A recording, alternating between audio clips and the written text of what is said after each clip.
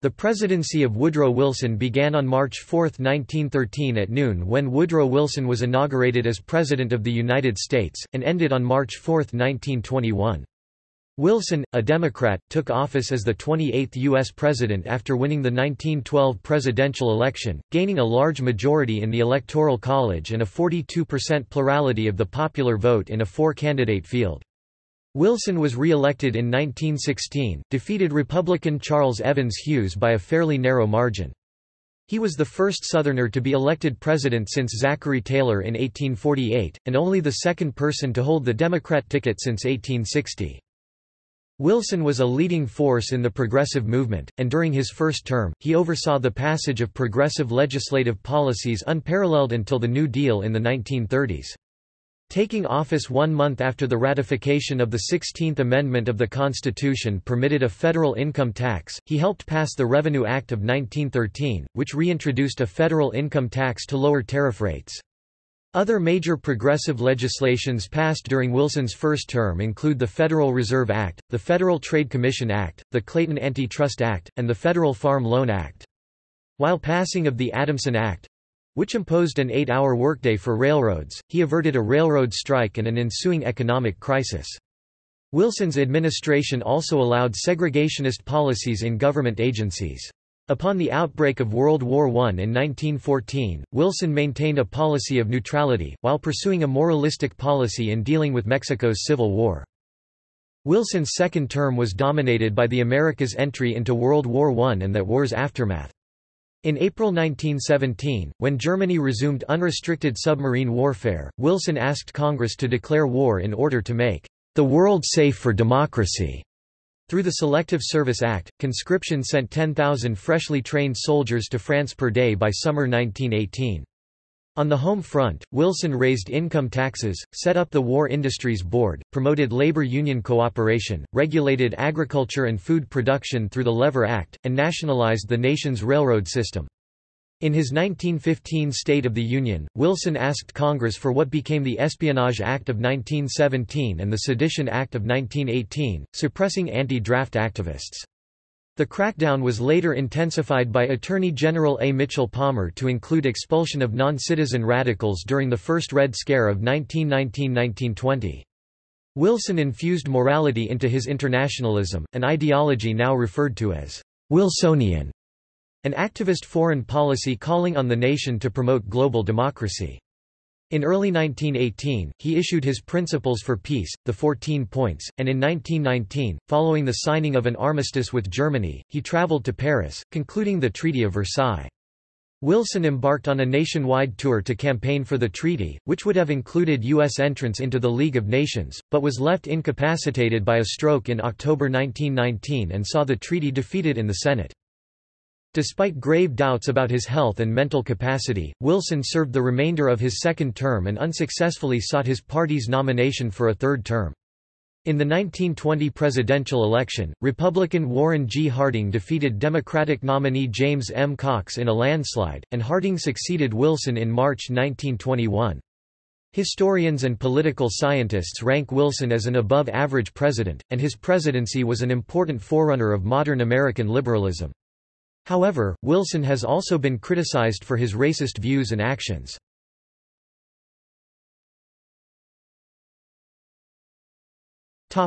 Presidential election of 1912 Wilson became a prominent 1912 presidential contender immediately upon his election as governor of New Jersey in 1910, and his clashes with state party bosses enhanced his reputation with the rising progressive movement. Prior to the 1912 Democratic National Convention, Wilson made a special effort to win the approval of three-time Democratic presidential nominee William Jennings Bryan, whose followers had largely dominated the Democratic Party since the 1896 presidential election. Speaker of the House Champ Clark of Missouri was viewed by many as the front-runner for the nomination, while House Majority Leader Oscar Underwood of Alabama also loomed as a challenger. Clark found support among the Bryan wing of the party, while Underwood appealed to the conservative Bourbon Democrats, especially in the South. On the first ballot of the Democratic National Convention, Clark won a plurality of delegates, and on the tenth ballot, he won a majority of the delegates after the New York Tammany Hall machine swung behind him. However, the Democratic Party required a nominee to win two-thirds of the delegates to win the nomination, and balloting continued. The Wilson campaign picked up delegates by promising the vice presidency to Governor Thomas R. Marshall of Indiana, and several Southern delegations shifted their support from Underwood to Wilson, a native Southerner. Wilson finally won two-thirds of the vote on the convention's 46th ballot, and Marshall became Wilson's running mate. Wilson faced two major opponents in the 1912 general election, one-term Republican incumbent William Howard Taft, and former Republican President Theodore Roosevelt, who ran a third-party campaign as the Bull Moose party nominee. A fourth candidate, Eugene V. Debs of the Socialist Party, would also win a significant share of the popular vote. Roosevelt had broken with his former party at the 1912 Republican National Convention after Taft narrowly won renomination, and the split in the Republican Party made Democrats hopeful that they could win the presidency for the first time since the 1892 presidential election. Roosevelt emerged as Wilson's main challenger, and Wilson and Roosevelt largely campaigned against each other despite sharing similarly progressive platforms that called for a strong, interventionist central government. Wilson won 435 of the 531 electoral votes and 41.8% of the popular vote, while Roosevelt won most of the remaining electoral votes and 27.4% of the popular vote, representing one of the strongest third-party performances in U.S. history. Taft won 23.2% of the popular vote but just 8 electoral votes, while Debs won 6% of the popular vote. In the concurrent congressional elections, Democrats retained control of the House and won a majority in the Senate. Wilson's victory made him the first Southerner to win the presidency since the Civil War.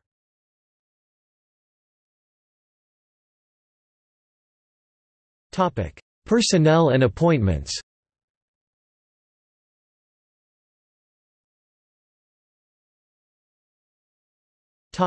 Cabinet and administration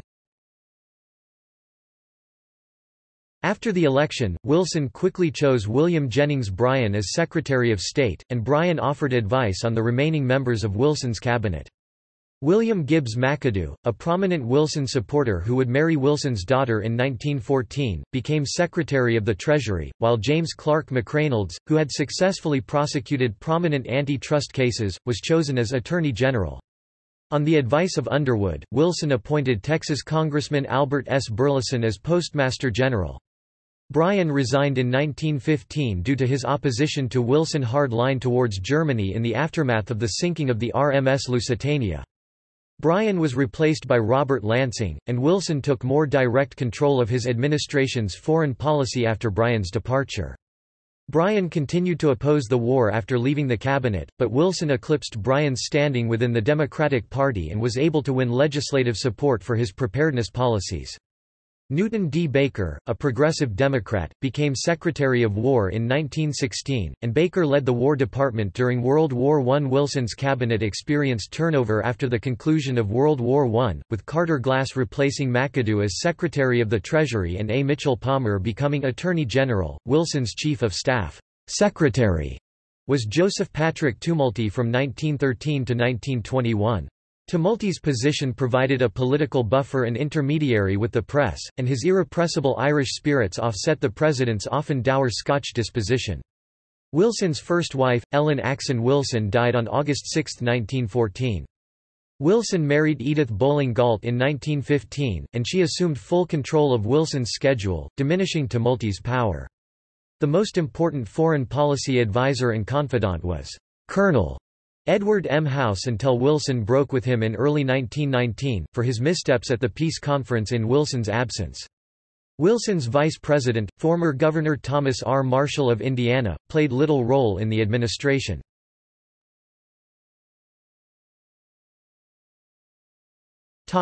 Press corps Wilson fervently believed that public opinion ought to shape national policy, albeit with a few exceptions involving delicate diplomacy. Newspapers and magazines control public policy, and Wilson paid close attention to their needs and moves. Press Secretary Joseph Patrick Tumulty proved generally effective, until Wilson's second wife began to distrust him and reduced his influence. Wilson pioneered twice weekly press conferences in the White House. Even though they were modestly effective, the president prohibited his being quoted and was particularly indeterminate in his statements. The first such press conference was held on March 15, 1913, when reporters were allowed to ask him questions. Wilson had a mixed record with the press. Relations were generally smooth. The two major exceptions were ending weekly meetings with the White House correspondents after the Lusitania sinking in 1915, and sharply restricting access during the 1919 peace conference. In both cases, Wilson was afraid that publicity would interfere with his quiet diplomacy. Journalists such as Walter Lippmann found a workaround, discovering that Colonel House was both highly talkative and devious in manipulating the press to slant its stories. A major problem was that 90% of the major newspapers and magazine outside the South traditionally endorsed Republican. In this case the workaround was to quietly collaborate with favorable reporters who admired Wilson's leadership in the cause of world peace. Their newspapers printed their reports because their scoops made news. The German-language press was vehemently hostile to Wilson, but he is that this advantage, attacking hyphenates as loyal to a foreign country.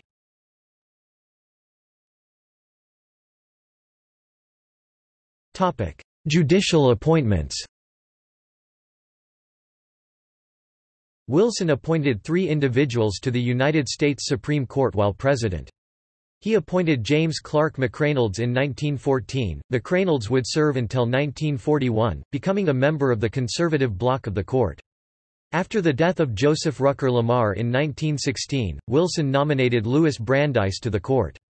Brandeis proved to be a controversial nominee, with many in the Senate opposing him to due to his progressive ideology and his religion Brandeis was the first Jewish nominee to the Supreme Court. However, Wilson was able to convince Senate Democrats to vote for Brandeis, and he won confirmation after months of Senate consideration, serving until 1939. A second vacancy arose in 1916 after the resignation of Charles Evans Hughes, and Wilson appointed John Hessin Clarke, a progressive lawyer from the electorally important state of Ohio, to replace Hughes. Clarke would resign from the court in 1922. In addition to his three Supreme Court appointments, Wilson also appointed 20 judges to the United States Courts of Appeals and 52 judges to the United States District Courts.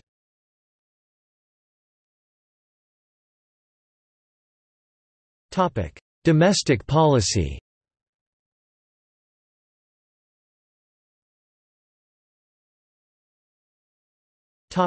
New freedom. With the support of the Democratic Congress, Wilson introduced a comprehensive program of domestic legislation at the outset of his administration, something no president had ever done before. The newly inaugurated Wilson had four major priorities, the conservation of natural resources, banking reform, a lower tariff, and equal access to raw materials, which would be accomplished in part through the regulation of trusts. Though foreign affairs would increasingly dominate his presidency starting in 1915, Wilson's first two years in office largely focused on domestic policy, and Wilson found success in implementing much of his ambitious, New Freedom agenda.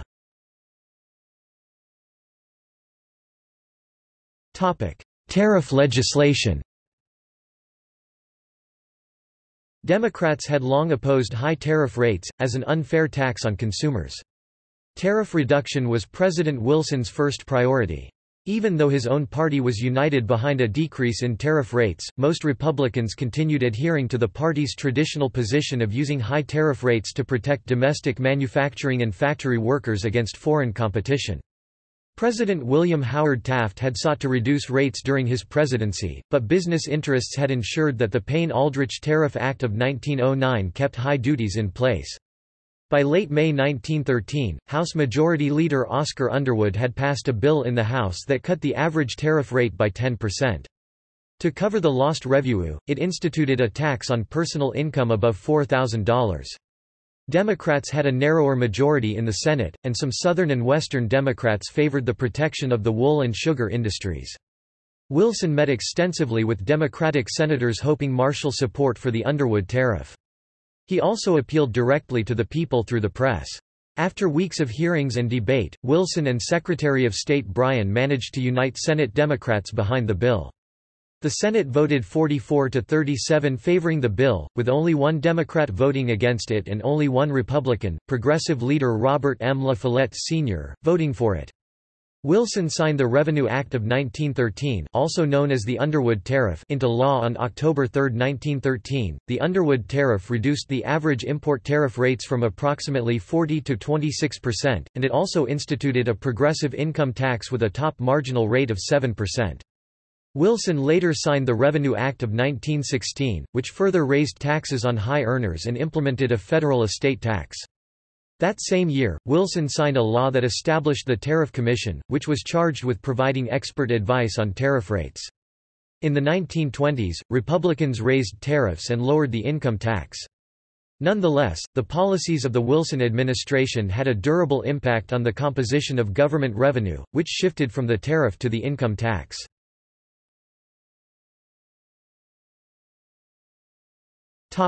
Federal Reserve System Wilson did not wait to complete the tariff legislation to proceed with his next item of reform—banking. Countries like Britain and Germany had government-run central banks, but the United States had not had a central bank since the Bank War of the 1830s. In the aftermath of the Panic of 1907, there was general agreement among leaders in both parties of the necessity to create some sort of central banking system to provide coordination during financial emergencies. Most leaders also sought currency reform, as they believed that the roughly $3.8 billion in coins and banknotes did not provide an adequate money supply during financial panics. Under conservative Republican Senator Nelson Aldrich's leadership, the National Monetary Commission in 1911 planned to establish a central banking system that could issue currency and would provide oversight and loans to the nation's banks. However, many progressives distrusted any plan that gave private bankers so much control over the central banking system. Relying heavily on the advice of Louis Brandeis, Wilson sought a middle ground between progressives such as Bryan and conservative Republicans like Aldrich. He declared that the banking system must be public not private, and must be vested in the government itself so that the banks must be the instruments, not the masters, of business. Democratic Congressman Carter Glass and Robert L. Owen made a compromise plan on allowing the private banks to control 12 regional Federal Reserve banks, but appeased progressives by placing controlling interest in the system in a central board that the president had appointed. Moreover, Wilson convinced Bryan's supporters that plan met their demands for an elastic currency because Federal Reserve notes were obligations of the government. Having 12 regional banks, with designated geographic districts, was intended to weaken Wall Street's influence. The bill passed the House in September 1913, but it faced stronger opposition in the Senate. After Wilson convinced just enough Democrats to defeat an amendment put forth by bank president Frank A. Vanderlip that would have given private banks greater control over the central banking system, the Senate voted 54 to 34 to approve the Federal Reserve Act. Wilson signed the bill into law in December 1913. Wilson appointed Paul Warburg and other prominent bankers to direct the new system. While power was supposed to be decentralized, the New York branch dominated the Federal Reserve as the first among equals. The new system began operations in 1915, and it played an important role in financing the Allied and American war effort in World War I.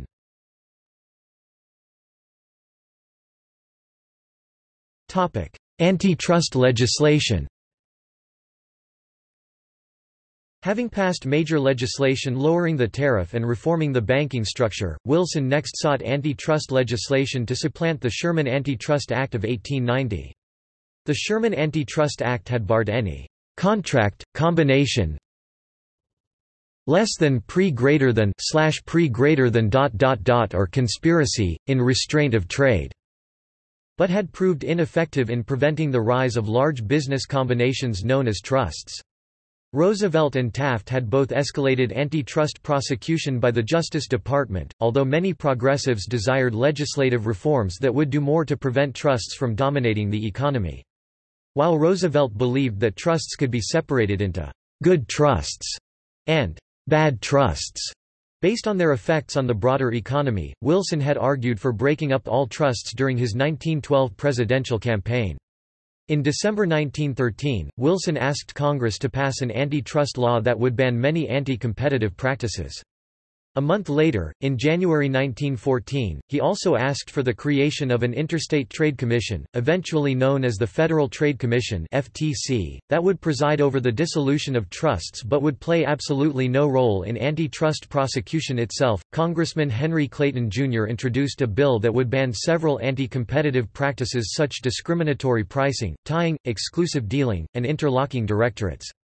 The bill also allowed individuals to launch antitrust suits, and it limited the applicability of antitrust laws on unions. As the difficulty of banning all anti-competitive practices via legislation became clear, Wilson came to favor legislation granting the FTC greater discretion to investigate antitrust violations and enforce antitrust laws independently of the Justice Department.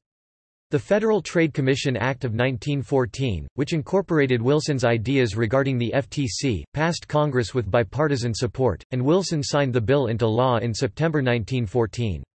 One month later, Wilson signed the Clayton Antitrust Act of 1914, which defined several anti-competitive practices.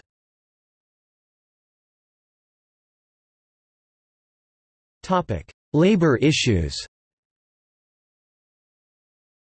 President Taft had won the creation of the Commission on Industrial Relations to study labor issues, but the Senate had rejected all of his nominees to the commission. Upon taking office, Wilson nominated a mix of conservatives and progressive reformers, with Commission Chairman Frank P. Walsh falling into the latter group. The commission helped expose numerous labor abuses throughout the nation, and Walsh proposed reforms designed to empower unions. Prior to his first presidential inauguration, Wilson had had an uneasy relationship with union leaders such as Samuel Gompers of the American Federation of Labor, and he generally believed that workers were best protected through laws rather than unions. He and Secretary of Labor William Bauchop Wilson rejected Walsh's far-reaching reforms, and instead focused on using the Labor Department to mediate conflicts between labor and ownership. The labor policies of Wilson's administration were tested by a strike against the Colorado Fuel and Iron Company between late 1913 and early 1914.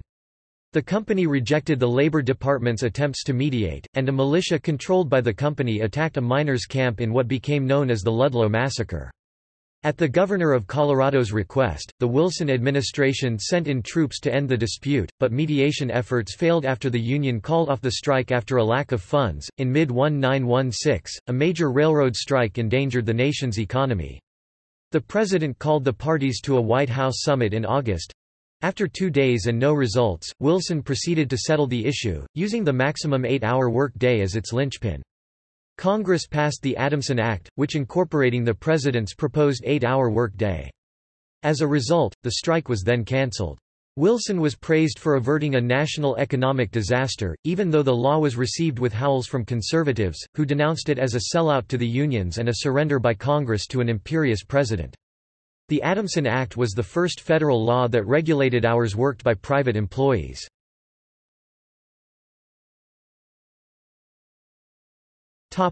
Agricultural issues In forming his policies in agricultural, President Wilson was heavily influenced by Walter Hines Page, who favored a reorganization of the U.S. Department of Agriculture. While that department had focused on scientific research under the long tenure of James Wilson, Page favored using the department to provide education and other services directly to farmers. Secretary of Agriculture David F. Houston, who presided over implementing many of Page's proposed reforms, worked with Congressman Asbury Francis Lever on introducing a bill that became known upon passage as the Smith-Lever Act of 1914. This act established government subsidies for a demonstration farming program allowing farmers to voluntarily experiment with farming techniques agricultural experts had favored. Proponents of the Smith-Lever Act overcame many conservatives' objections by adding a provisions designed to bolster local control. Local agricultural colleges supervised agricultural extension agents charged with providing technical advice. Those agents were barred from operating without county government's approval, which were also required to supply matching funds for the program. By 1924, three-quarters of the agriculture-oriented counties in the United States took part in the Agricultural Extension Program. Wilson also helped ensure passage of the Federal Farm Loan Act, which created 12 regional banks empowered to provide low-interest loans to farmers.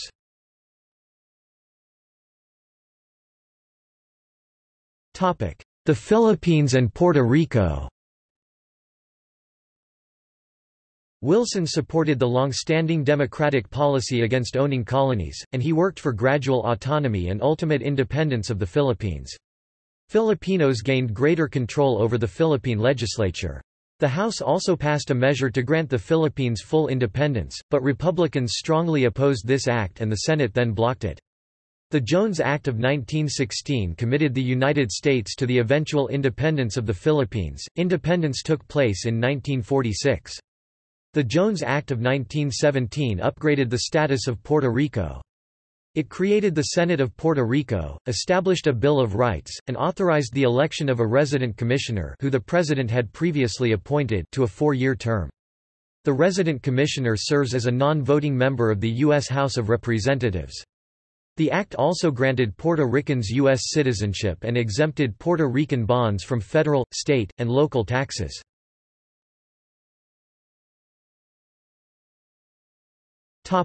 Immigration policy Immigration was a high-priority topic in American politics during Wilson's presidency, but he paid very little attention to all that. He opposed the restrictive immigration policies that many members of both parties favored. Wilson's progressivism encouraged his belief that immigrants from Southern and Eastern Europe, though poor and illiterate, could assimilate into a homogeneous white middle class. However, the so-called hyphenated Irish and German elements repulsed him because they were motivated to help the wartime needs of Ireland and Germany, not to the needs and values of the United States. Very high rates of immigration suddenly ended in 1914, as European nations closed their borders. Emigration back to Europe also virtually ended. Wilson vetoed the Immigration Act of 1917, but Congress overrode the veto. Its goal was to reduce immigration from Eastern and Southern Europe, by requiring literacy tests. It was the first U.S. law to restrict immigration from Europe, and it foreshadowed the more restrictive immigration laws of the 1920s. Topic home front During World War I With the American entrance into World War I in April 1917, Wilson became a wartime president. The War Industries Board, headed by Bernard Baruch, was established to set U.S. war manufacturing policies and goals. Future President Herbert Hoover led the Food Administration. The Federal Fuel Administration, run by Henry Garfield, introduced daylight saving time and rationed fuel supplies. William McAdoo was in charge of war bond efforts. Vance McCormick headed the War Trade Board. These men, known collectively as the War Cabinet, met weekly with Wilson at the White House. Wilson established a large propaganda office, the Committee on Public Information, to encourage patriotism and fight defeatism and sedition. Because he was heavily focused on foreign policy during World War I, Wilson delegated a large degree of authority over the home front to his subordinates. The great majority of unions, including the AFL and the Railroad Brotherhoods, supported the war effort, and were rewarded for their efforts with high pay and access to Wilson. Strikes were rare. Unions saw enormous growth in membership and wages during the war, but there was no planning for post-war, and 1919 was marked by severe strikes and crises. Wilson established the National War Labor Board to mediate wartime labor disputes, but it was slow to organize and the Labor Department provided mediation services in more disputes. Wilson's labor policies continued to stress mediation and agreement on all sides. When Smith & Wesson refused to assent to an NWLB ruling, the War Department seized control of the gun company and forced employees to return to work. The federal budget soared from $1 billion in fiscal year 1916 to $19 billion fiscal year 1919. The United States funded its participation in the war through a mix of increased taxes and war bonds. The War Revenue Act of 1917 and the Revenue Act of 1918 each raised taxes substantially. Treasury Secretary McAdoo authorized the issuing of low-interest war bonds and, to attract investors, made interest on the bonds tax-free. The bonds proved so popular among investors that many borrowed money in order to buy more bonds. The purchase of bonds, along with other wartime pressures, resulted in rising inflation. However, wages rose for laborers and profits rose for farmers and business owners due to the stimulative effect of government spending. The United States also provided large loans to the Allied countries, helping to prevent the economic collapse of Britain and France. By the end of the war, the United States had become a creditor nation for the first time in its history.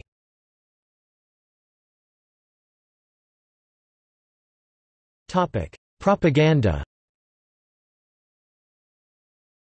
Wilson established the first modern propaganda office, the Committee on Public Information (CPI), headed by George Creel. Creel set out to systematically reach every person in the United States multiple times with patriotic information about how the individual could contribute to the war effort. It also worked with the Post Office to censor seditious counter-propaganda. Creel set up divisions in his new agency to produce and distribute innumerable copies of pamphlets, newspaper releases, magazine advertisements, films, school campaigns, and the speeches of the Four-Minute Men. CPI created colorful posters that appeared in every store window, catching the attention of the passers-by for a few seconds.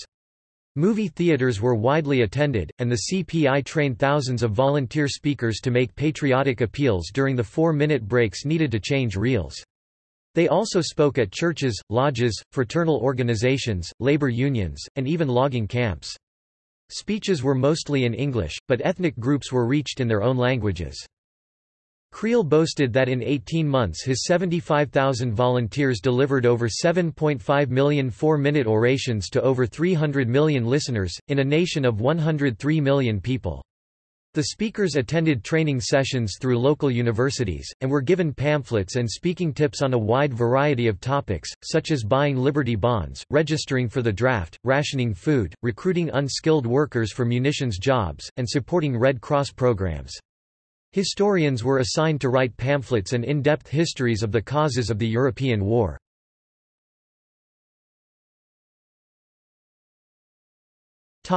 Disloyalty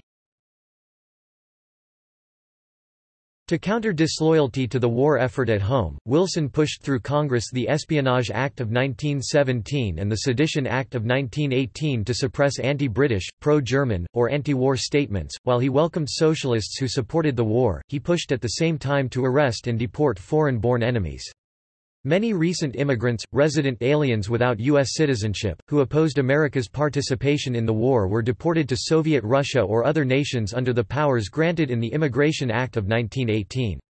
Because of the lack of a national police force, the Wilson administration relied heavily on state and local police forces, as well as voluntary compliance, to enforce wartime laws.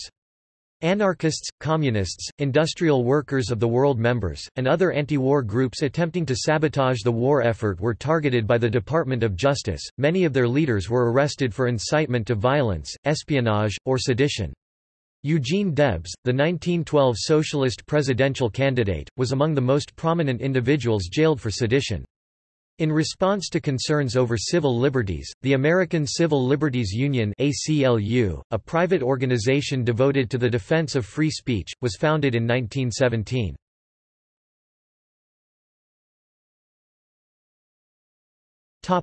Prohibition Prohibition developed as an unstoppable reform during the war, but Wilson played a minor role in its passage. A combination of the temperance movement, hatred of everything German including beer and saloons, and activism by churches and women led to ratification of an amendment to achieve prohibition in the United States. A constitutional amendment passed both houses in December 1917 by two-thirds votes. By January 16, 1919, the 18th Amendment had been ratified by 36 of the 48 states it needed. On October 28, 1919, Congress passed enabling legislation, the Volstead Act, to enforce the 18th Amendment. Wilson felt prohibition was unenforceable, but his veto of the Volstead Act was overridden by Congress. Prohibition began on January 16, 1920. The manufacture, importation, sale, and transport of alcohol were prohibited, except for limited cases such as religious purposes as with sacramental wine.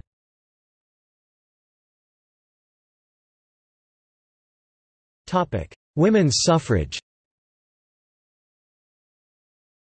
Wilson personally favored women's suffrage, but said it was a state matter. Opposition was too strong in the South. A win for suffrage in New York State, combined with the increasingly prominent role women took in the war effort in factories and at home, convinced Wilson and many others to fully support women's suffrage. In a January 1918 speech before the Congress, Wilson for the first time endorsed a national right to vote. We have made partners of the women in this war. Shall we admit them only to a partnership of suffering and sacrifice and toil and not to a partnership of privilege and right? The House quickly passed a constitutional amendment, but it stalled in the Senate. Wilson continued to pressure senators to vote for the bill, and in June 1919 the Senate approved the amendment. The requisite number of states ratified the 19th Amendment in August 1920.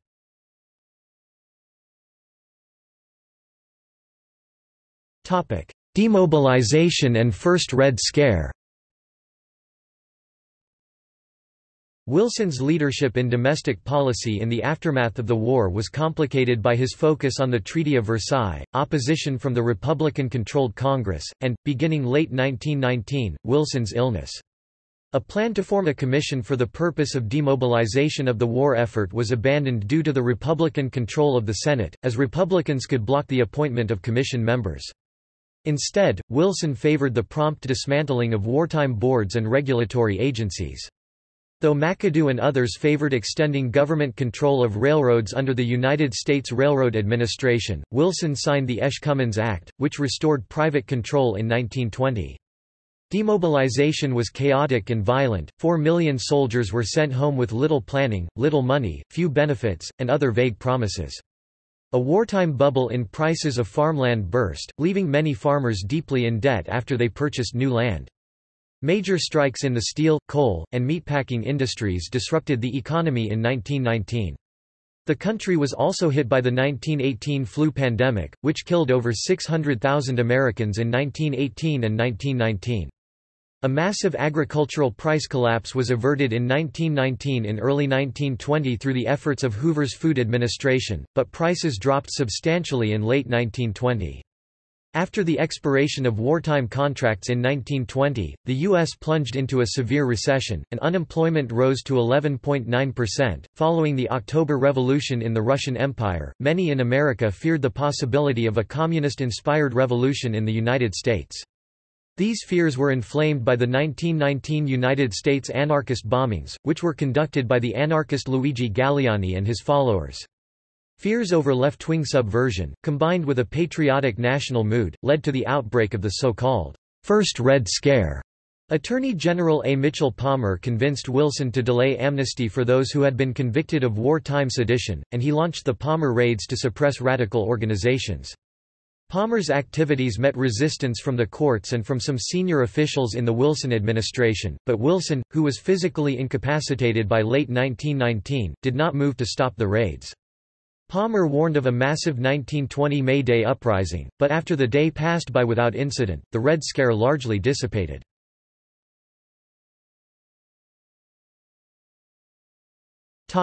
Civil rights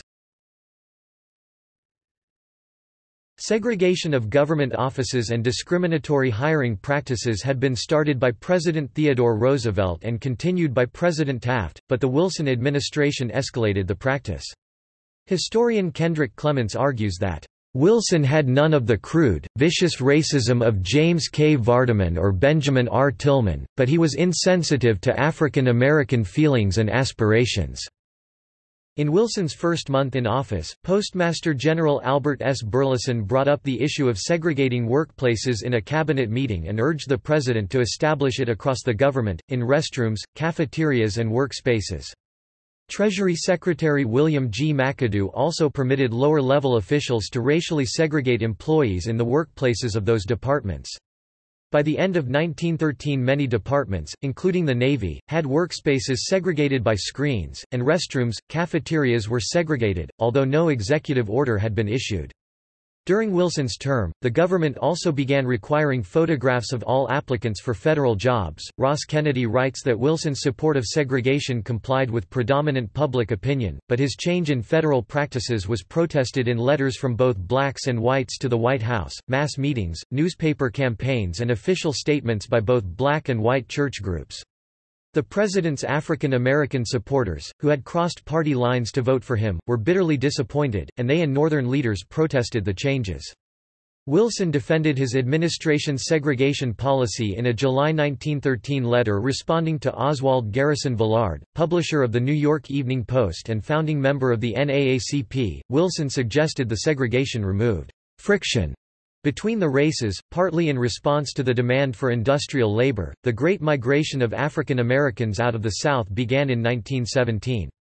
This migration sparked race riots, including the East St. Louis riots of 1917.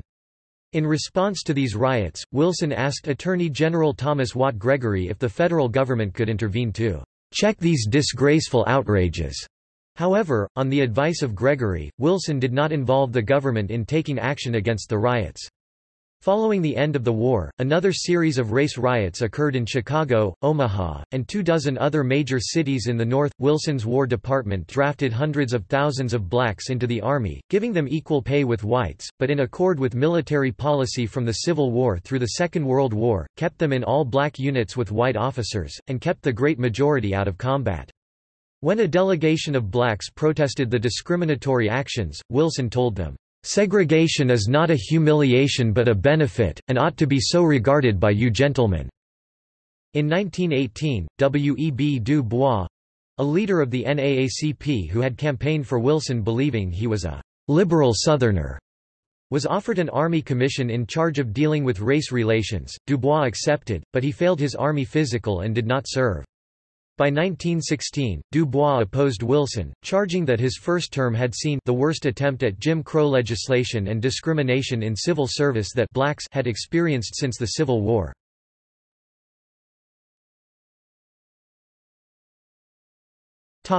Foreign policy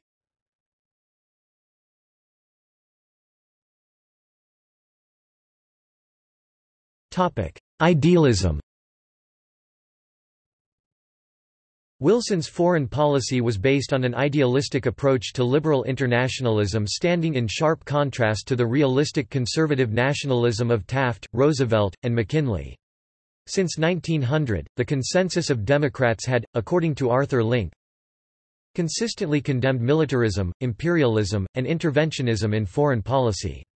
They instead advocated world involvement along liberal internationalist lines. Wilson's appointment of William Jennings Bryan as Secretary of State indicated a new departure, for Bryan had long been the leading opponent of imperialism and militarism and a pioneer in the world peace movement. Bryan took the initiative in asking 40 countries with ambassadors in Washington to sign bilateral arbitration treaties. Any dispute of any kind with the United States would lead to a one-year cooling-off period, and submission to an international commission for arbitration. Thirty countries signed, but not Mexico and Colombia which had grievances with Washington, nor Japan, Germany, Austria-Hungary or the Ottoman Empire. Some European diplomats signed the treaties, but considered them irrelevant. Diplomatic historian George C. Herring says that Wilson's idealism was genuine, but that it was structured by blind spots. Wilson's genuine and deeply felt aspirations to build a better world suffered from a certain culture blindness. He lacked experience in diplomacy and hence an appreciation of its limits. He had not traveled widely outside the United States and knew little of other peoples and cultures beyond Britain, which he greatly admired. Especially in his first years in office, he had difficulty seeing that well-intended efforts to spread U.S. values might be viewed as interference at best, coercion at worst. His vision was further narrowed by the terrible burden of racism, common among the elite of his generation, which limited his capacity to understand and respect people of different colors. Above all, he was blinded by his certainty of America's goodness and destiny.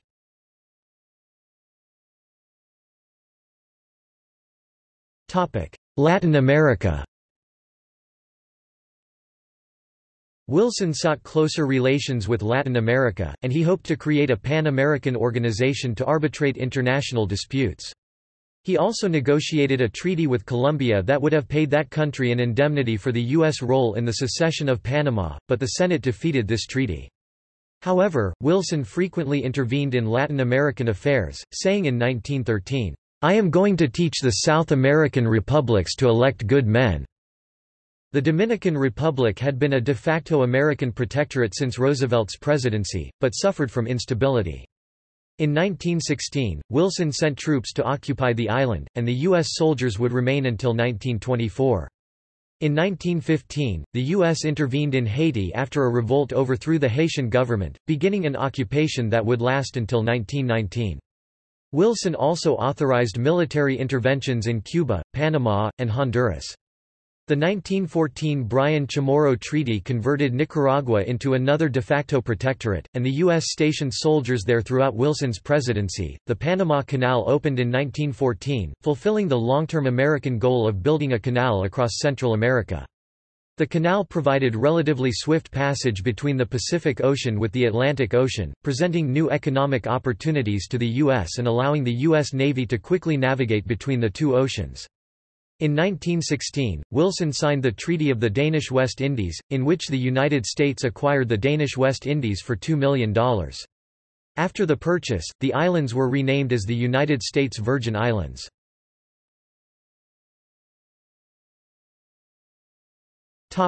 Mexican Revolution Wilson took office during the Mexican Revolution, which had begun in 1911 after liberals overthrew the military dictatorship of Porfirio Diaz. Shortly before Wilson took office, conservatives retook power through a coup led by Victoriano Huerta. Wilson rejected the legitimacy of Huerta's government of butchers and demanded Mexico hold democratic elections. Wilson's unprecedented approach meant no recognition and doomed Huerta's prospects for establishing a stable government. After Huerta arrested U.S. Navy personnel who had accidentally landed in a restricted zone near the northern port town of Tampico, Wilson dispatched the Navy to occupy the Mexican city of Veracruz. A strong backlash against the American intervention among Mexicans of all political affiliations convinced Wilson to abandon his plans to expand the U.S. military intervention, but the intervention nonetheless helped convince Huerta to flee from the country. A group led by Venustiano Carranza established control over a significant proportion of Mexico, and Wilson recognized Carranza's government in October 1915. Carranza continued to face various opponents within Mexico, including Pancho Villa, whom Wilson had earlier described as a sort of Robin Hood. In early 1916, Pancho Villa raided an American town in New Mexico, killing or wounding dozens of Americans and causing an enormous nationwide American demand for his punishment. Wilson ordered General John J. Pershing and 4,000 troops across the border to capture Villa. By April, Pershing's forces had broken up and dispersed Villa's bands, but Villa remained on the loose and Pershing continued his pursuit deep into Mexico. Carranza then pivoted against the Americans and accused them of a punitive invasion. A confrontation with a mob in Parral on April 12 resulted in two dead Americans and six wounded, plus hundreds of Mexican casualties. Further incidents led to the brink of war by late June, when Wilson demanded an immediate release of American soldiers held prisoner. The prisoners were released, tensions subsided, and bilateral negotiations began under the auspices of the Mexican-American Joint High Commission. Eager to withdraw from Mexico due to World War I, Wilson ordered Pershing to withdraw, and the last American soldiers left in February 1917. Biographer According to historian Arthur Link, Carranza's successful handling of the American intervention in Mexico left the country free to develop its revolution without American pressure. The incident also made Pershing a national figure and led to Wilson choosing him to command the American forces in Europe in 1918. It also gave the American Army some needed experience in dealing with training, planning and logistics.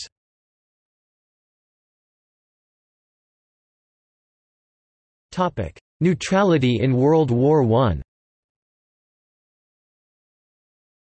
World War I broke out in July 1914, pitting Central Powers Germany, Austria-Hungary, the Ottoman Empire, and Bulgaria against the Allied powers Great Britain, France, Russia, and several other countries.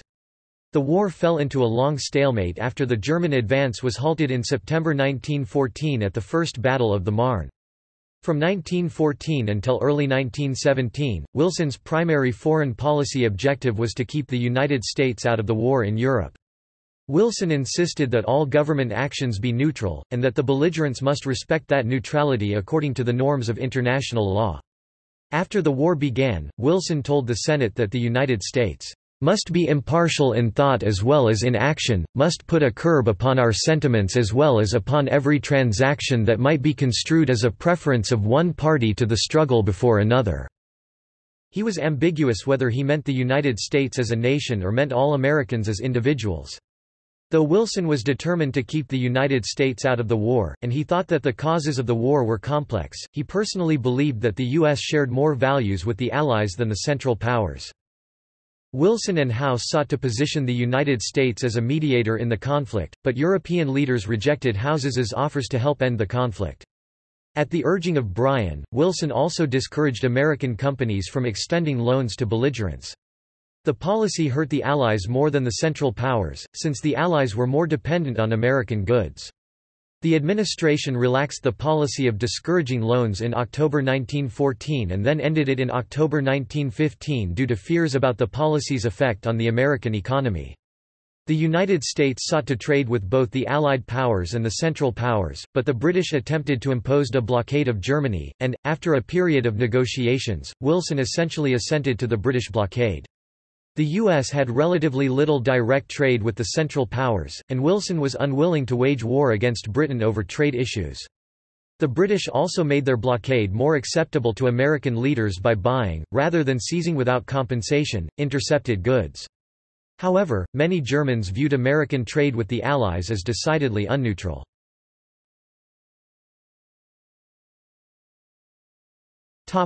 Growing tensions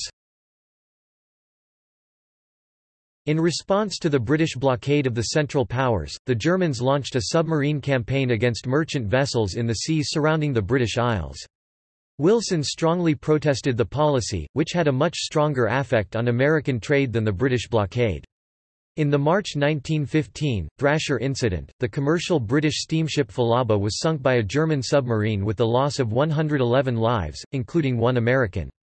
In the spring of 1915 a German bomb struck an American ship, the Cushing and a German submarine torpedoed an American tanker, the Gulflight. Wilson took the view, based on some reasonable evidence, that both incidents were accidental, and that a settlement of claims could be postponed to the end of the war. A German submarine torpedoed and sank the British ocean liner RMS Lusitania in May 1915, over a thousand perished, including many Americans. Wilson did not call for war, instead he said, there is such a thing as a man being too proud to fight. There is such a thing as a nation being so right that it does not need to convince others by force that it is right." He realized he had chosen the wrong words when critics lashed out at his rhetoric. Wilson sent a protest to Germany which demanded that the German government take immediate steps to prevent the recurrence of incidents like the sinking of the Lusitania. In response, Bryan, who believed that Wilson had placed the defense of American trade rights above neutrality, resigned from the cabinet. The White Star liner the SS Arabic was torpedoed in August 1915, with two American casualties. The U.S. threatened a diplomatic break unless Germany repudiated the action. The Germans agreed to warn unarmed merchant ships before attacking them. In March 1916, the SS Sussex, an unarmed ferry under the French flag, was torpedoed in the English Channel and four Americans were counted among the dead. The Germans had flouted the post Lusitania exchanges. The president demanded the Germans reject their submarine tactics.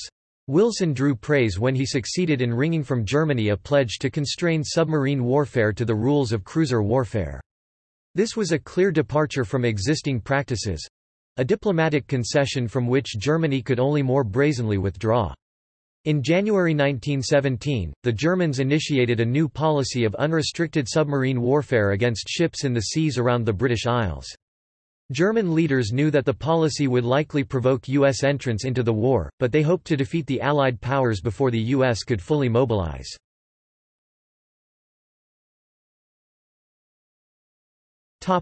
Preparedness Military preparedness, or building up the small army and navy became a major dynamic of public opinion. Theodore Roosevelt and General Leonard Wood took the lead, attacking Wilson for reliance on weakness instead of strength in dealing with the World War. New, well-funded organizations sprang up to appeal to the grassroots, including the American Defense Society and the National Security League, both of which favored entering the war on the side of the Allies. Interventionists, led by Theodore Roosevelt, wanted war with Germany and attacked Wilson's refusal to build up the U.S. Army in anticipation of war. Wilson's resistance to preparedness was partly due to the powerful anti-war element of the Democratic Party, which was led by Bryan. Anti-war sentiment was strong among many groups inside and outside of the party, including women, Protestant churches, labor unions, and Southern Democrats like Claude Kitchin, chairman of the powerful House Ways and Means Committee. Biographer John Morton Blum says, Wilson's long silence about preparedness had permitted such a spread and such a hardening of anti-preparedness attitudes within his party and across the nation that when he came in at late last to his task, neither Congress to the country was amenable to much persuasion. After the sinking of the Lusitania and the resignation of Bryan, Wilson publicly committed himself to preparedness and began to build up the Army and the Navy. Wilson was constrained by America's traditional commitment to military non-intervention. Wilson believed that a massive military mobilization could only take place after a declaration of war, even though that meant a long delay in sending troops to Europe. Many Democrats felt that no American soldiers would be needed, only American money and munitions. Wilson had more success in his request for a dramatic expansion of the Navy. Congress passed a Naval Expansion Act in 1916 that encapsulated the planning by the Navy's professional officers to build a fleet of top-rank status, but it would take several years to become operational.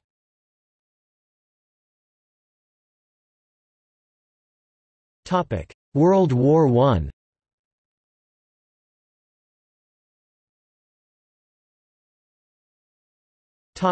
Entering the war In early 1917, German ambassador Johann von Bernstorff informed Secretary of State Lansing of Germany's commitment to unrestricted submarine warfare. In late February, the U.S. public learned of the Zimmermann telegram, a secret diplomatic communication in which Germany sought to convince Mexico to join it in a war against the United States. Wilson's reaction after consulting the cabinet and the Congress was a minimal one—that diplomatic relations with the Germans be brought to a halt. The president said, "...we are the sincere friends of the German people and earnestly desire to remain at peace with them. We shall not believe they are hostile to us unless or until we are obliged to believe it." After a series of attacks on American ships, Wilson held a cabinet meeting on March 20. All cabinet members agreed that the time had come for the United States to enter the war. Wilson called Congress into a special session, which would begin on April 2. March 1917 also brought the first of two revolutions in Russia, which impacted the strategic role of the U.S. in the war. The overthrow of the imperial government removed a serious barrier to America's entry into the European conflict, while the Second Revolution in November relieved the Germans of a major threat on their eastern front, and allowed them to dedicate more troops to the western front, thus making U.S. forces central to Allied success in battles of 1918.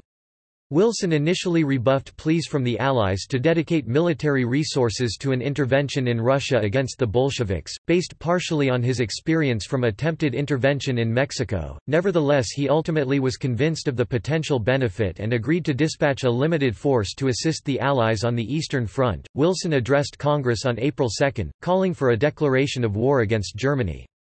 He argued that the Germans were engaged in nothing less than war against the government and people of the United States." He asked for a military draft to raise the army, increased taxes to pay for military expenses, loans to Allied governments, and increased industrial and agricultural production. The declaration of war by the United States against Germany passed Congress by strong bipartisan majorities on April 4, 1917, with opposition from ethnic German strongholds and remote rural areas in the South. The United States would also later declare war against Austria-Hungary in December 1917. The U.S. did not sign a formal alliance with Britain or France but operated as an associated power, an informal ally with military cooperation through the Supreme War Council in London. The U.S. raised a massive army through conscription and Wilson gave command to General John J. Pershing. Pershing would have complete authority as to tactics, strategy, and some diplomacy. Edward House became the President's main channel of communication with the British government, and William Wiseman, a British naval attaché, was House's principal contact in England. Their personal relationship succeeded in serving the powers well, by overcoming strained relations in order to achieve essential understandings between the two governments. House also became the U.S. representative on the Allies' Supreme War Council.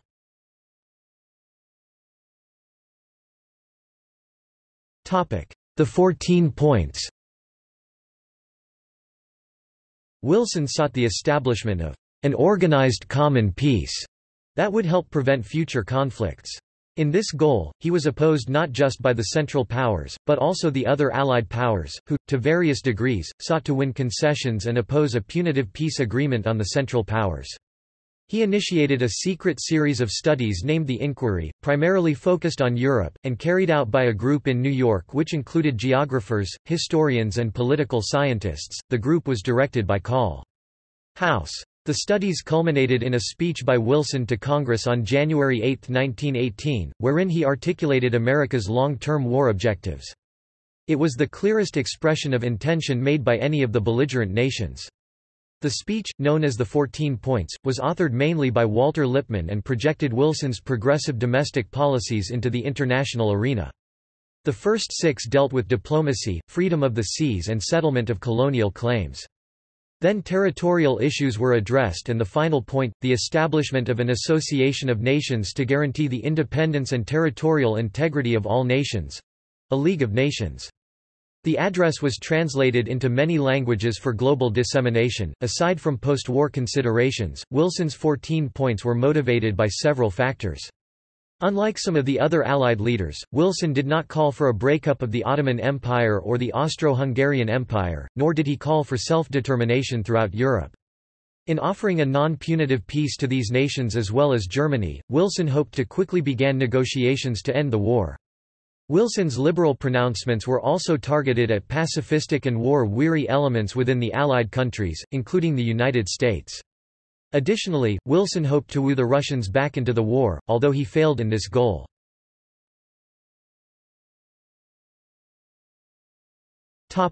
Course of the war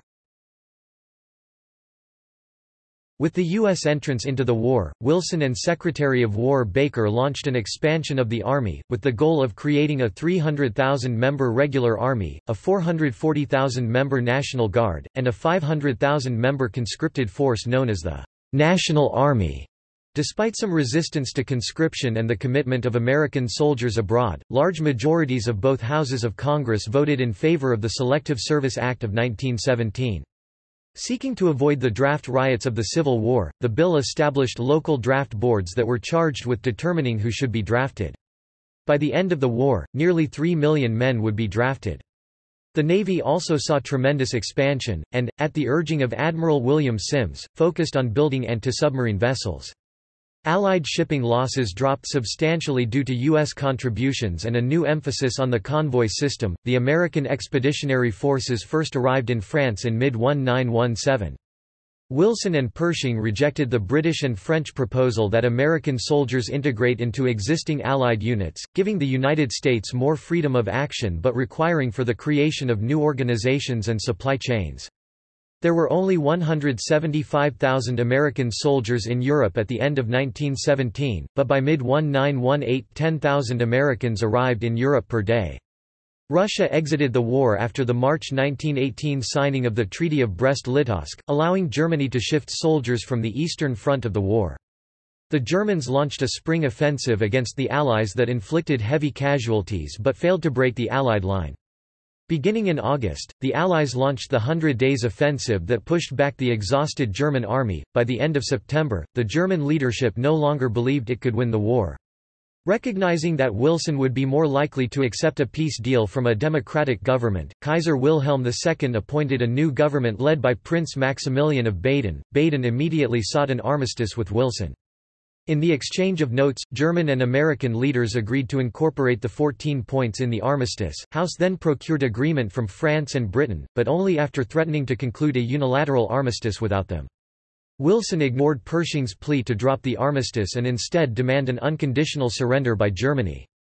The Germans signed the armistice of the 11th of November 1918, bringing an end to the fighting.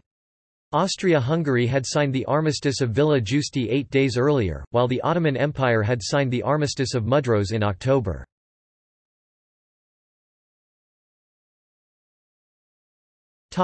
Aftermath of World War I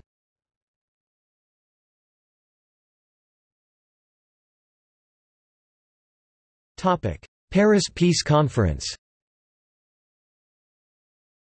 After the signing of the armistice, Wilson traveled to Europe to attend the Paris Peace Conference, thereby becoming the first U.S. president to travel to Europe while in office.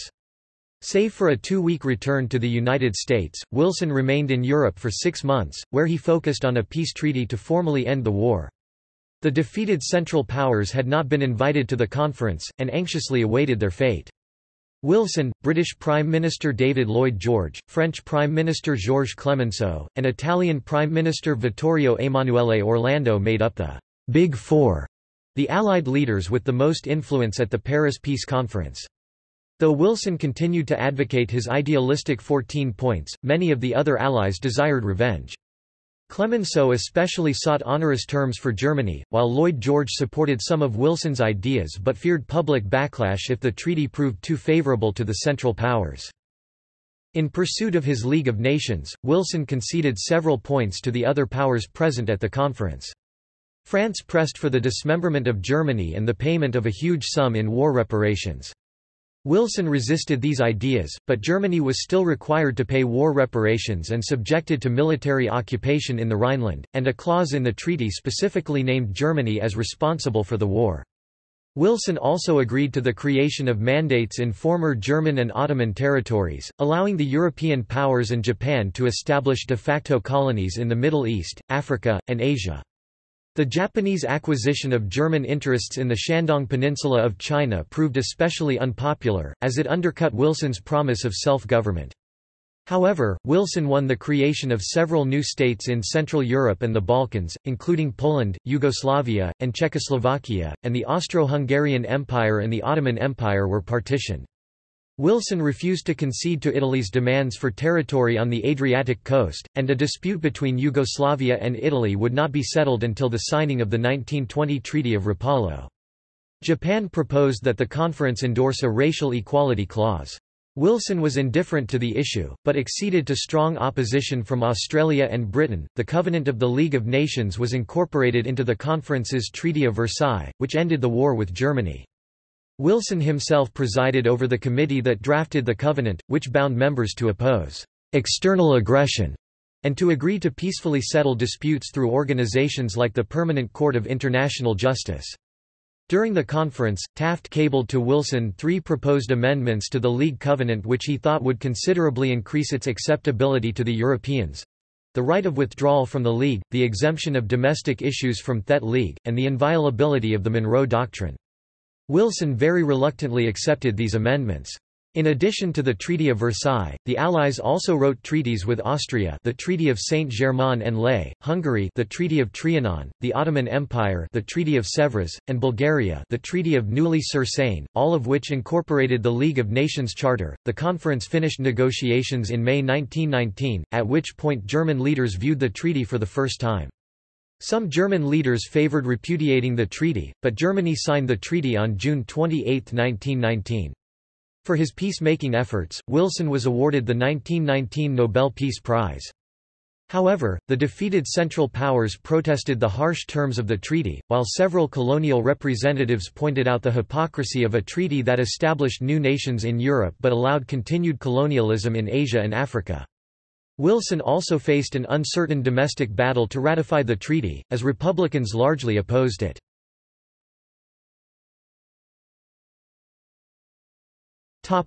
treaty ratification debate The chances were less than favorable for ratification of the treaty by a two-thirds vote of the Senate, in which Republicans held a narrow majority. Public opinion was mixed, with intense opposition from most Republicans, Germans, and Irish Catholic Democrats. In numerous meetings with senators, Wilson discovered opposition had hardened. Despite his weakened physical condition following the Paris Peace Conference, Wilson decided to barnstorm the western states, scheduling 29 major speeches and many short ones to rally support.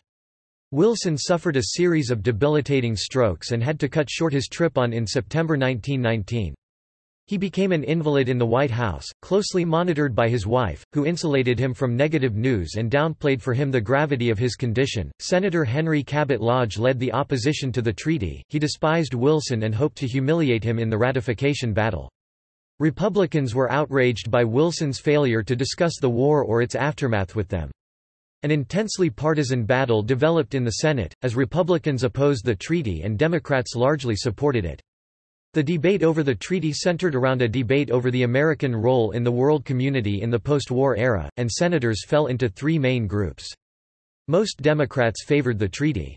Fourteen senators, mostly Republicans, become known as the irreconcilables, as they completely opposed U.S. entrance into the League of Nations. Some of these irreconcilables, such as George W. Norris, opposed the treaty for its failure to support decolonization and disarmament. Other irreconcilables, such as Hiram Johnson, feared surrendering American freedom of action to an international organization. Most sought the removal of Article 10 the League Covenant, which purported to bind nations to defend each other against aggression. The remaining group of senators, known as reservationists, accepted the idea of the League, but sought varying degrees of change to the League to ensure the protection of U.S. sovereignty. Former President Taft and former Secretary of State Elihu Root both favored ratification of the treaty with some modifications, and their public support for the treaty gave Wilson some chance of winning significant Republican support for ratification. Despite the difficulty of winning ratification, Wilson consistently refused to accede to reservations, partly due to concerns about having to reopen negotiations with the other powers if reservations were added. In mid-November 1919, Lodge and his Republicans formed a coalition with the pro-treaty Democrats, and were close to a two-thirds majority for a treaty with reservations, but the seriously indisposed Wilson rejected this compromise and enough Democrats followed his lead to defeat ratification. Cooper and Bailey suggest that Wilson's stroke in September had debilitated him from negotiating effectively with Lodge. U.S. involvement in World War I would not formally end until the passage of the Knox-Porter Resolution in 1921.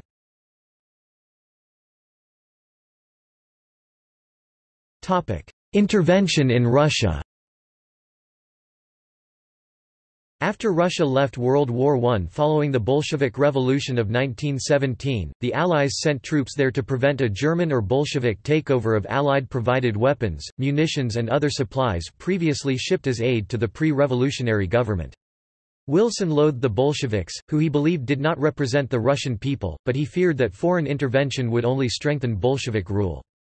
Britain and France pressured him to intervene in order to potentially reopen a second front against Germany, and Wilson acceded to this pressure in the hope that it would help him in post-war negotiations and check Japanese influence in Siberia.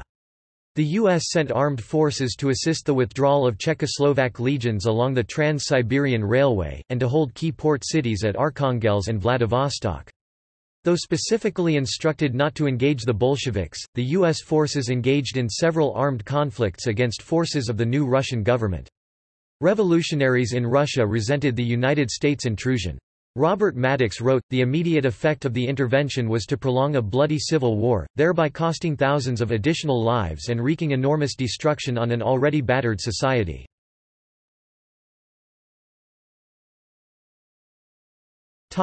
Other issues In 1919, Wilson guided American foreign policy to acquiesce in the Balfour Declaration without supporting Zionism in an official way.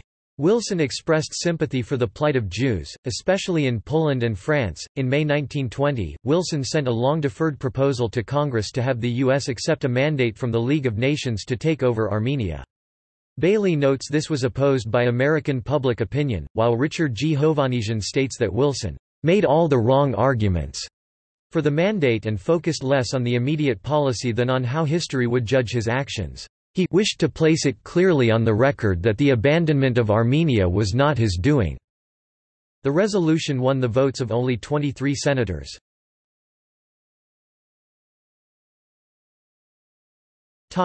List of international trips Wilson made two international trips during his presidency. He was the first sitting president to travel to Europe. He spent nearly seven months in Europe after World War I interrupted by a brief nine-day return stateside.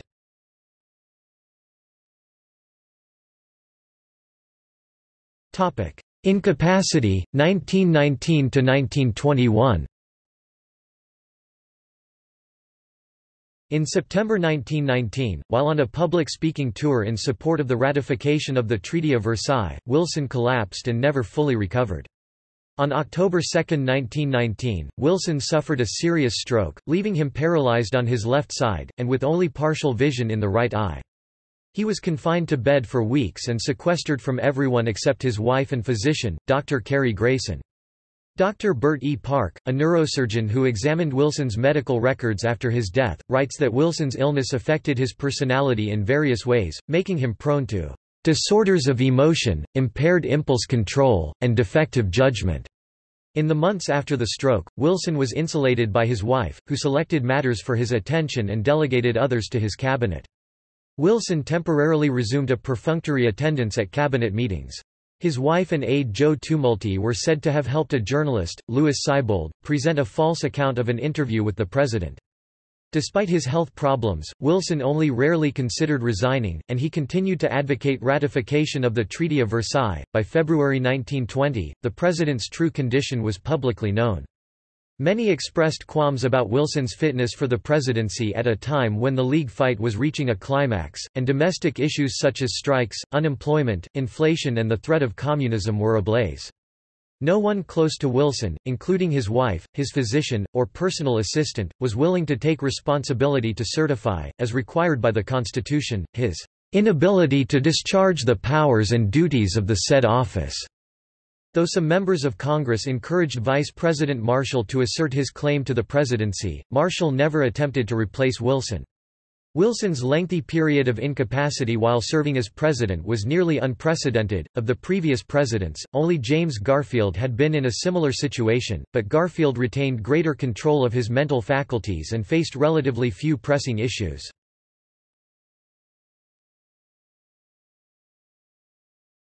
Topic: Elections during the Wilson presidency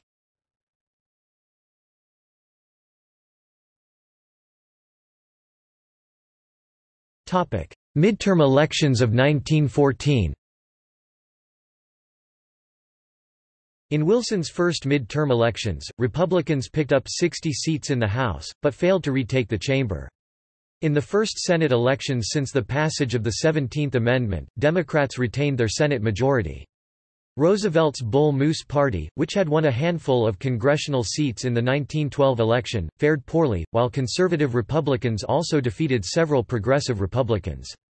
The continuing Democratic control of Congress pleased Wilson, and he publicly argued that the election represented a mandate for continued progressive reforms. In the ensuing 64th Congress, Wilson and his allies passed several more laws, though none were as impactful as the major domestic initiatives that had been passed during Wilson's first two years in office.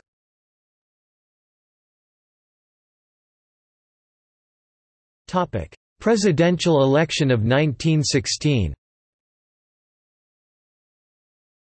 Wilson, renominated without opposition, employed his campaign slogan, "'He kept us out of war' though he never promised unequivocally to stay out of the war.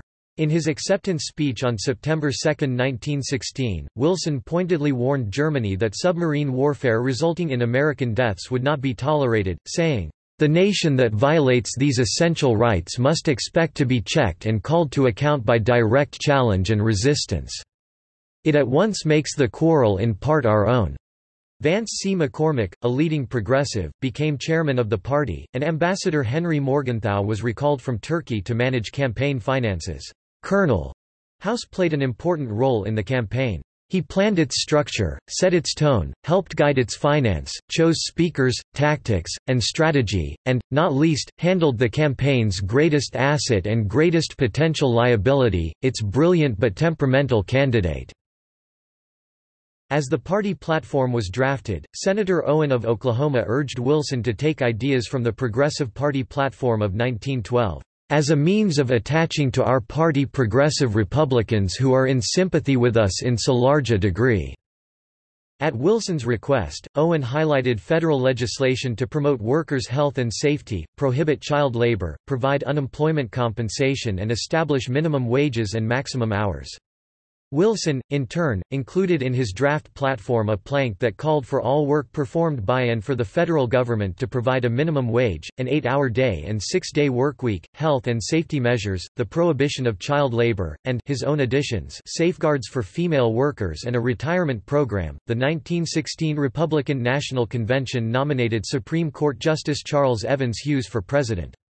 A former governor of New York, Hughes sought to reunify the progressive and conservative wings of the party. Republicans campaigned against Wilson's New Freedom policies, especially tariff reduction, the implementation of higher income taxes, and the Adamson Act, which they derided as class legislation.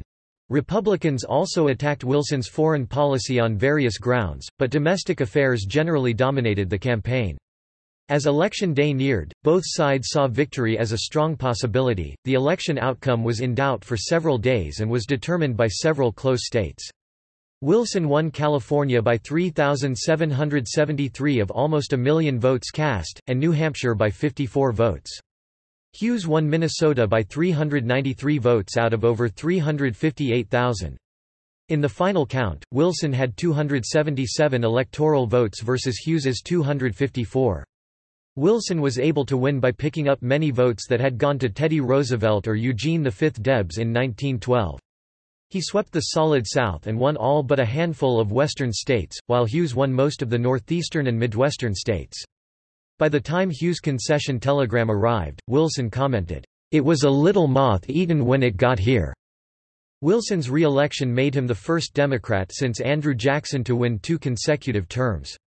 Wilson's party also maintained control of Congress, although control in the House would depend on the support of several members of the Progressive Party.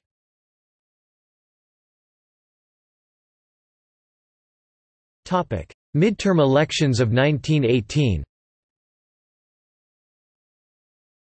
Wilson involved himself in the 1918 Democratic congressional primaries, hoping to elect progressive members of Congress who would support his administration's foreign policies.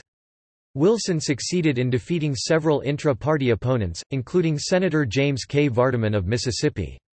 However, the general elections saw Republicans take control of both the House and the Senate. Republicans ran against Wilson's foreign policy agenda, especially his proposal for the League of Nations.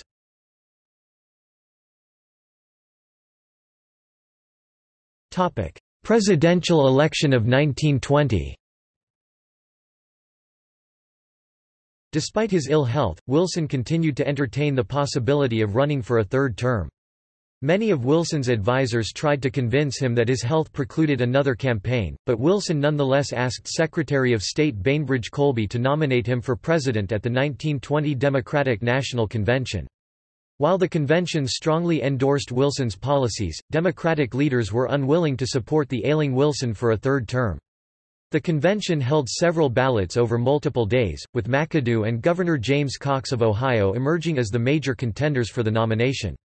Though McAdoo had served as Secretary of the Treasury under Wilson, and had married Wilson's daughter in 1914, the president did not back McAdoo's candidacy due in part to McAdoo's perceived lukewarm support for the League of Nations. After dozens of ballots, the convention nominated a ticket consisting of Cox and Franklin D. Roosevelt, the Assistant Secretary of the Navy. Many expected Theodore Roosevelt to be the 1920 Republican nominee, but his death in January 1919 left the race for the Republican nomination wide open. The three major contenders for the Republican nomination were General Leonard Wood, who had been a close friend of Roosevelt, Senator Hiram Johnson, who was Roosevelt's running mate on the 1912 Progressive ticket, and Governor Frank Lowden of Illinois.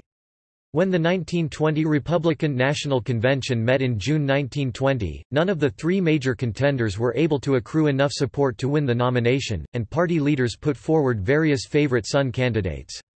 The party ultimately nominated a dark horse candidate, Senator Warren G. Harding of Ohio. The Republicans centered their campaign around opposition to Wilson's policies, with Harding promising a return to normalcy to the conservative policies that had prevailed at the turn of the century. Wilson largely stayed out of the campaign, although he endorsed Cox and continued to advocate for U.S. membership in the League of Nations. Harding won a landslide victory, taking 60.3% of the popular vote and winning every state outside of the South.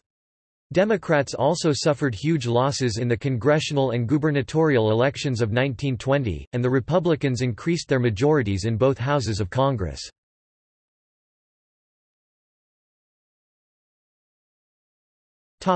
Historical reputation Wilson is generally ranked by historians and political scientists as one of the better presidents. A 2018 poll of the American Political Science Association's Presidents and Executive Politics section ranked Wilson as the 10th best president. A 2017 C-SPAN poll of historians ranked Wilson as the 11th best president.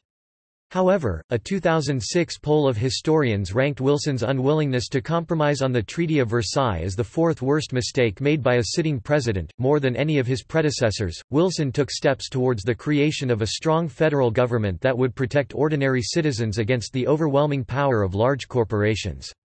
Many of Wilson's accomplishments, including the Federal Reserve, the Federal Trade Commission, the graduated income tax, and labor laws, continued to influence the United States long after Wilson's death.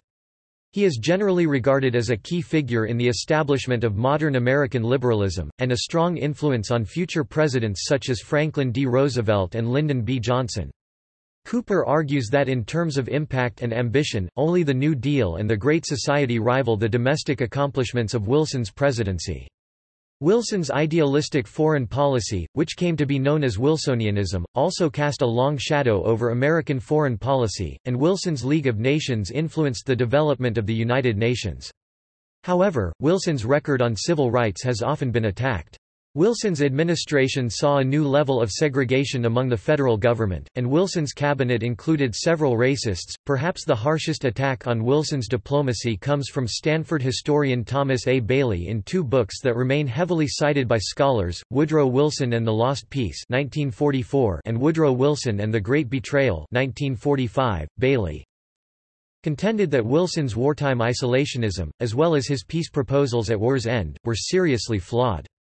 Highlighting the fact that American delegates encountered staunch opposition to Wilson's proposed League of Nations, Bailey concluded that the president and his diplomatic staff essentially sold out, compromising important American ideals to secure mere fragments of Wilson's progressive vision. Hence, while Bailey primarily targeted President Wilson in these critiques, others, including House, did not emerge unscathed. Scott Bruce argues that more recently, prominent historians such as Thomas J. Knock, Arthur Walworth, and John Milton Cooper, among others, shied away from condemning Wilson and his peacemakers for extensive diplomatic failures in Paris. Instead, they framed Wilsonian progressivism, articulated through the League of Nations, as a comparatively enlightened framework tragically undermined by British and French machinations at the Peace Conference. Historian Margaret Macmillan, continued this analytical trend in her prize-winning book, Paris, 1919, Six Months That Changed the World 2001, which characterized Wilson as the frustrated idealist, unable to secure his progressive vision due to opposition from old guard imperialists in his midst. While realists like Lloyd E. Ambrosius questioned the merits of defining Wilsonian progressivism too idealistically, the idea has persisted that well-intentioned U.S. delegates encountered staunch opposition to Wilson's proposals in Paris, and therefore compromised under pressure. Even the great Wilson scholar, Arthur S. Link, subscribed to a version of this narrative.